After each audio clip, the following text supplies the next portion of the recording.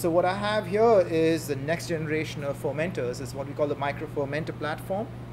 And so a regular two liter or half liter fermentation tank is going to have oxygen sensors, pH sensors. It's going to have feeding tubes for sugar or buffer manipulations. On this plate, actually, you can have all those features incorporated. So if you can see these two dots, those are your oxygen and pH sensors that are uh, measuring how much oxygen and, and, what the pH of that culture is. You also have these tiny microfluidic channels that allow uh, your controller to feed sugar or a base or an acid to maintain the pH based on how the conditions within each culture will change. Interestingly, it can recapitulate all the work that you would do in an entire lab, and that's in the palm of my hands right now.